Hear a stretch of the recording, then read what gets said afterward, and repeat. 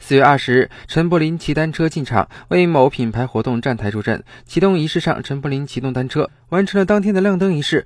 而生活中，与其他人都用汽车代步不同，陈柏霖平时出门都会选择单车出行。我觉得，其实不管是做什么事情啊，还有工作上面，真的要保持一个健康的身心，还有乐观积极的态度。然后，我觉得真的早起，然后有时候真的现在都要提倡呃节能减碳嘛。像我自己就是真的常常去走路跟骑单车，我本身是不开车的。